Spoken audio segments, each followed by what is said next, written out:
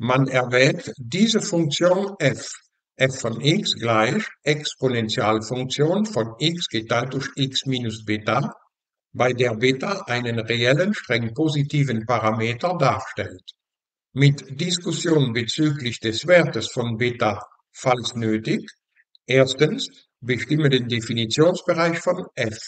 Zweitens bestimme die eventuellen Nullstellen von f. Drittens bestimme die eventuellen Asymptoten von f. Viertens untersuche Steigung und Gefälle von f und charakterisiere die eventuellen Extrema. Fünftens untersuche die Konkavität des Graphen und charakterisiere die eventuellen Wendepunkte. Sechstens skizziere die Grafik von f indem du die Merkmale hierüber berücksichtigst. Beginnen wir mit dem Definitionsbereich dieser Funktion. Die Exponentialfunktion mit Basis e ist in der ganzen Menge r definiert. Dieser Bruch ist ebenfalls in der ganzen Menge r definiert, außer an der Zahl Beta. Also ist der Definitionsbereich der Funktion die ganze Menge r ohne die Zahl Beta. Die eventuellen Nullstellen von f, die finden wir, indem wir die Gleichung f von x gleich 0 lösen. Ein Exponentialausdruck wird aber niemals 0, sondern der ist überall streng positiv, da wo er definiert ist. Also hat diese Funktion keine Nullstelle und somit ist die Schnittmenge vom Graphen der Funktion und der x-Achse die leere Menge. Kommen wir jetzt zu den Asymptoten. Zuerst vertikale Asymptote. Wir suchen einen Grenzwert von f von x, wenn x gegen Beta strebt. Da die Exponentialfunktion bei minus unendlich 0 ergibt und bei plus unendlich plus unendlich ergibt, müssen wir hier unter den zwei Fällen unterscheiden, und zwar wenn x gegen Beta minus strebt und wenn x gegen Beta plus strebt. Schauen wir im ersten Fall. X strebt gegen Beta. Also ergibt dieser Bruch Beta, streng positiv, geteilt durch 0. Das ist unendlich. Aber welche Unendlichkeit? Wenn x gegen Beta minus strebt, dann ist x auf jeden Fall streng positiv, aber auch streng kleiner als Beta. Also ist der Zähler streng positiv, der Nenner streng negativ Somit ist dieser Bruch streng negativ und strebt gegen unendlich. Dann kann er nur gegen minus unendlich streben und e hoch minus unendlich, das macht null. Da wir also bei Beta minus keinen unendlichen Grenzwert finden, gibt es bei Beta minus keine vertikale Asymptote. Jetzt schauen wir bei Beta plus. x strebt gegen Beta bedeutet, dass x streng positiv ist, weil Beta es ist. Und wenn x gegen Beta plus strebt, dann bedeutet das, dass x streng größer ist als Beta und somit ist x minus Beta streng positiv. Streng positiv geteilt durch streng positiv macht streng positiv. Und dieser Bruch strebt gegen unendlich. Wenn ein Bruch streng positiv ist und gegen unendlich strebt, dann kann er nur gegen plus unendlich streben und e hoch plus unendlich ergibt als Grenzwert plus unendlich. Bei Beta plus finden wir einen unendlichen Grenzwert, also bei Beta plus hat die Funktion f eine vertikale Asymptote, natürlich mit kartesischer Gleichung x gleich Beta. Horizontale Asymptote, wir rechnen den Grenzwert von f von x, wenn x gegen plus und gegen Minus unendlich strebt.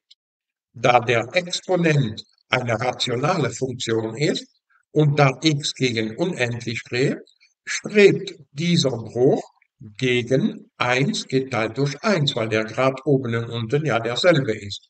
Also strebt dieses f von x gegen e hoch 1, das heißt gegen e. Dieser Grenzwert ist gleich e und somit hat die Funktion eine horizontale Asymptote bei plus unendlich und bei minus unendlich mit kartesischer Gleichung y gleich e. Und da diese gerade Asymptote bei den beiden Unendlichkeiten ist, kann es keine schräge Asymptote geben. Zu Punkt 4 brauchen wir die Ableitung von f. Die Ableitung von einer Exponentialfunktion, das ist die Exponentialfunktion, so wie sie da steht, mal die Ableitung des Exponenten.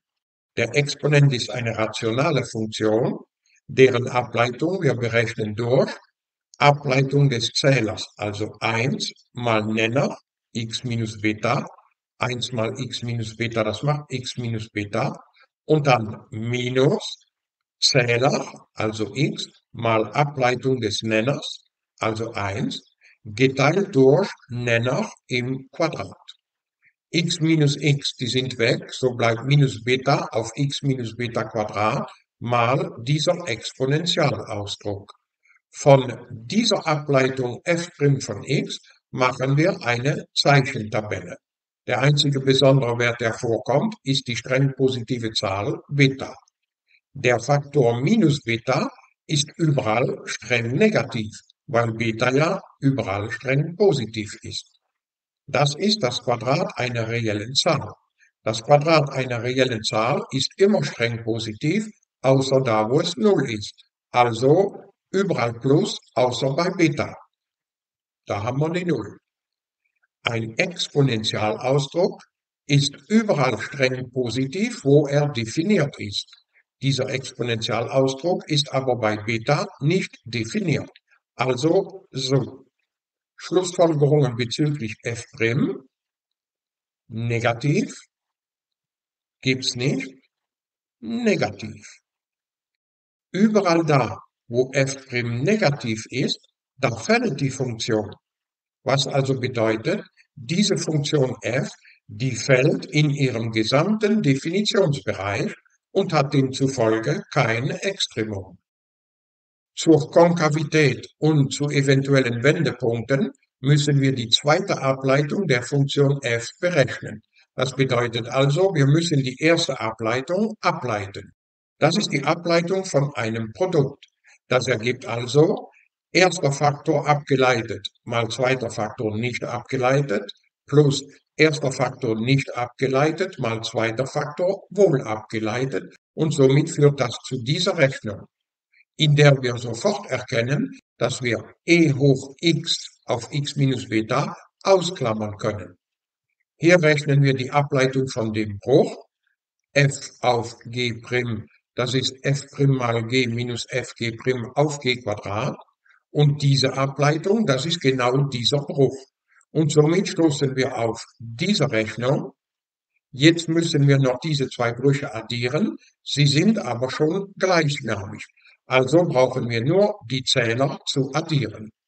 Hier verteilen wir 2 Beta auf diese Klammer und minus 2 Beta Quadrat plus Beta Quadrat, das macht minus Beta Quadrat und somit können wir ein Beta ausklammern.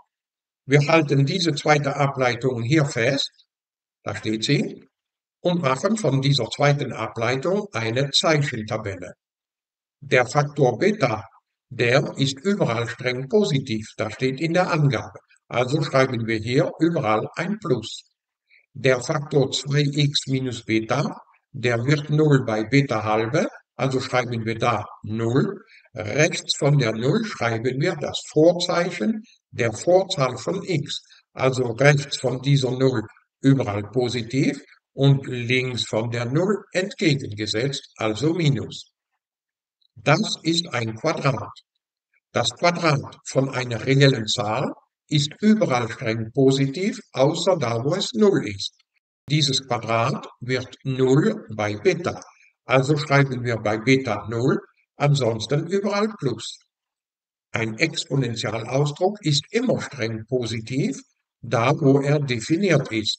Dieser Exponentialausdruck ist bei Beta nicht definiert, also hier einen Schrägstrich, ansonsten überall streng positiv. Jetzt kommen die Schlussfolgerungen bezüglich f''. Da gehört ein Minus hin, da die Null, da Plus, hier Schrägstrich, wegen diesem Schrägstrich, und hier Plus. Überall da, wo f' streng negativ ist, dreht f die Konkavität nach unten.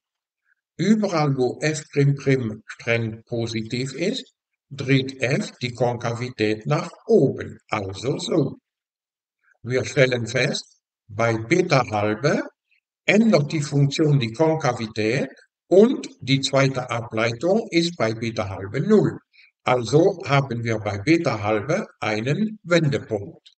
Um die Ordinate von diesem Wendepunkt zu bestimmen, berechnen wir das Bild durch die Funktion f von Beta halbe.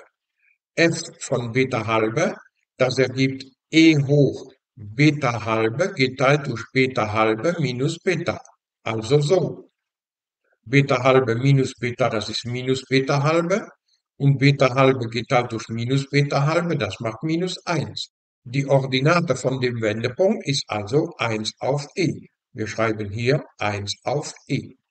Dieser Wendepunkt hat also als Koordinate Beta halbe 1 auf e.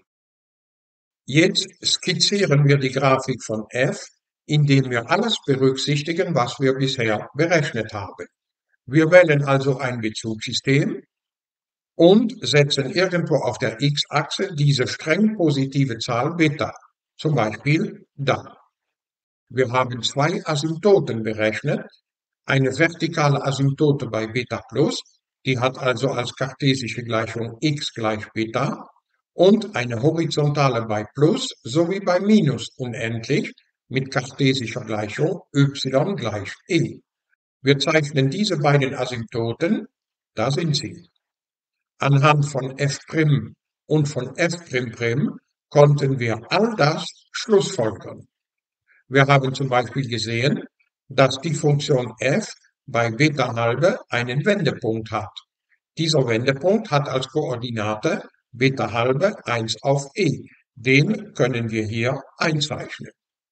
Wir sehen auch, dass das Bild von 0 e hoch 0 ergibt, also 1, was bedeutet, der Graph dieser Funktion f enthält diesen Punkt mit Koordinate 0, 1.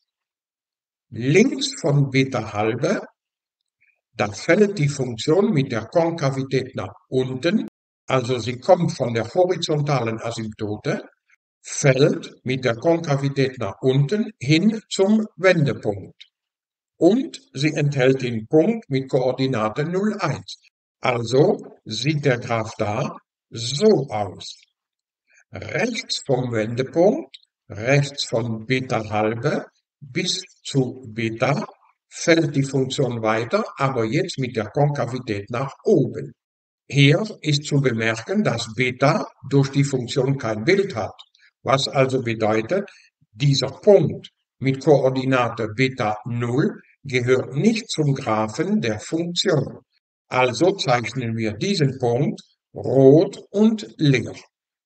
Rechts von Beta fällt die Funktion mit der Konkavität nach oben.